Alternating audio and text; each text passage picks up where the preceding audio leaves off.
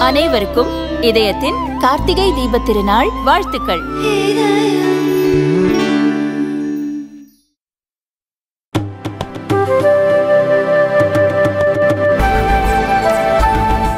பயணிகளுக்கு வழங்க வேண்டிய வசதிகள் மற்றும் சேவைகள் தொடர்பான விதிமுறைகளை ஏர் இந்தியா விமான நிறுவனம் கடைபிடிக்க தவறிய காரணத்துக்காக விமான போக்குவரத்து கண்காணிப்பு இயக்குநரகம் பத்து லட்சம் ரூபாய் அபராதம் விதித்துள்ளது. டெல்லி கொச்சி மற்றும் பெங்களூருவில் இது தொடர்பாக டிஜிசிஏ அதிகாரிகள் ஆய்வு மேற்கொண்டனர். அப்போது ஏர் இந்தியா விதிமுறை மீறலில் ஈடுபட்டது கண்டறியப்பட்டது.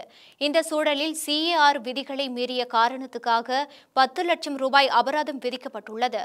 தாமதமான விமான சேவையால் பாதிக்கப்பட்ட பயணிகளுக்கு தங்குமிடம் வழங்காதது விமான நிலைய பணியாளர்கள் சிலருக்கு பயிற்சி அளிக்காதது மற்றும் பயன்படுத்த முடியாத நிலையிலான இருக்கைகளில் பயணம் மேற்கொண்ட பயணிகளுக்கு இழப்பீடு வழங்காதது போன்றவை இதற்கு காரணங்களாக பட்டியலிடப்பட்டுள்ளது.